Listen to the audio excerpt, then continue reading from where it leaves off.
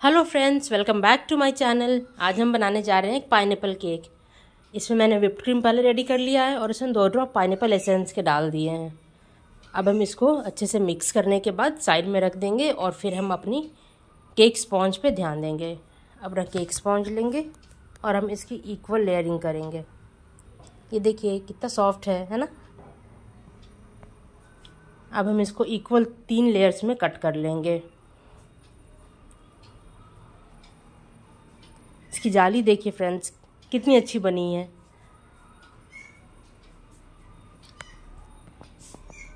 ये पता है, खाने में भी बहुत टेस्टी लगता है। मैं इसकी रेसिपी जल्दी शेयर करूँगी आपके साथ।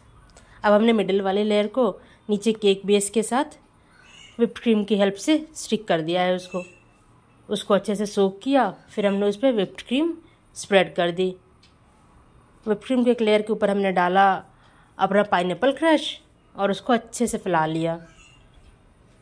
पर ये पाइनएप्पल क्रश थोड़ा कम लग रहा है ना? हमने थोड़ा और डाला और इसको फिर अच्छे से फैला लिया। और फिर हमने उसमें डाले चंक्स पाइनएप्पल चंक्स मैंने घर पे ही रेडी किए हैं।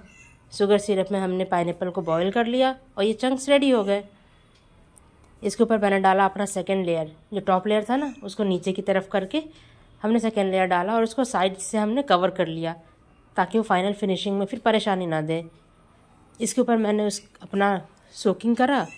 सोकिंग के लिए मैंने यूज़ किया है वो शुगर सिरप जिसे मैंने पाइनएप्पल चंक्स बनाए थे, और उसको अंदर मैंने डाला थोड़ा सा रेगुलर वाटर उसको मिक्स करके मैंने उसी पानी से सोकिंग करी है, ताकि पाइनएप्पल केक का टेस्ट और भी ज़्यादा इन्हांस हो जाए।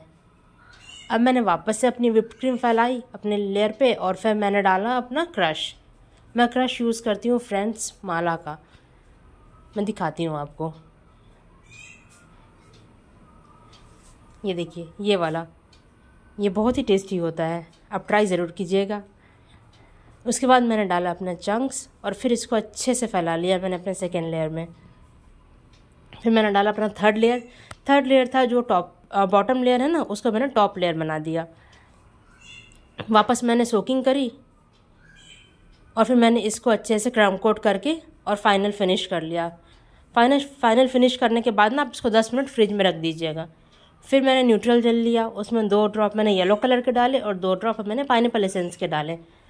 फिर मैंने उसको अच्छे से मिक्स किया, फिर उसके ऊपर मैंने डाला one tablespoon regular water ताकि वो स्मूथ रनी फ्लोई कंसिस्टेंसी में आ जाए। अगर आप दो टेबल स्पून न्यूट्रल जेल में एक टेबल स्पून पानी डालते हैं ना तो आपका एक हाफ़ के जी छः इंच का केक अच्छे से कवर हो जाएगा। ये देखिए, मैंने इसको अच्छे से कवर कर दिया। मुझे ये पूरा अच्छे से कवर चाहिए था, जैसा कि बेकरी में होता है। ये कोई कस्टमाइज़ केक ऑर्डर था नहीं तो मैंने फिर इसको बेकरी स्टाइल बनाने का ही सोचा। इसको मैंने अच्छे से कवर कर लिया है।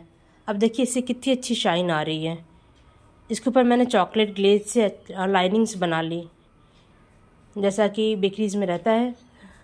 आप या तो इसको राउंड बनाएँ या स्ट्रेट बनाएँ और फिर इसमें डिज़ाइन कर दें। अगर आपको वीडियो पसंद आ रही हो फ्रेंड्स तो प्लीज़ लाइक शेयर सब्सक्राइब ये देखिए, अब मैं इसको टूथपिक की हेल्प से मैंने इसको, इसमें डिज़ाइंस बना लिए हैं टॉप पे इसके।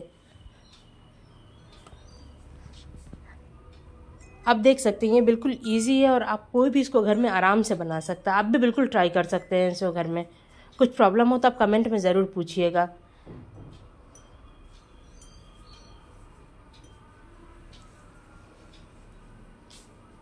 इसके बाद मैंने इसको वन एम नोज़ल से इसके ऊपर बनाया, थोड़े से फ्लावर्स ये देखिए कितनी इजीली फ्लावर्स बन गए।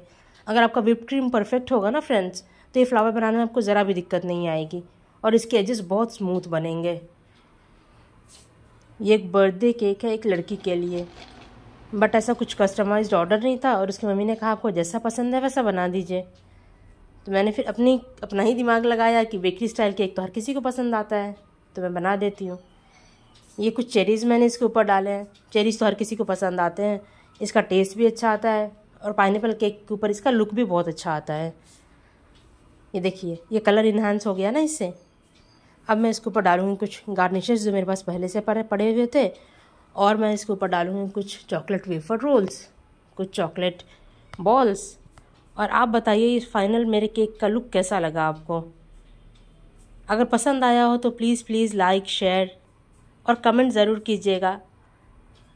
आप अपने घर पे ट्राई कीजिए फ्रेंड्स और कुछ भी हो तो मुझे प्लीज़ शेयर कीजिएगा कि आपको क्या प्रॉब्लम हो रही है या कैसा बना आपका। अगर अच्छा बना है या जैसा भी बना है, आप प्लीज़ उसकी फ़ोटो मेरे साथ शेयर कीजिएगा। Thank you so much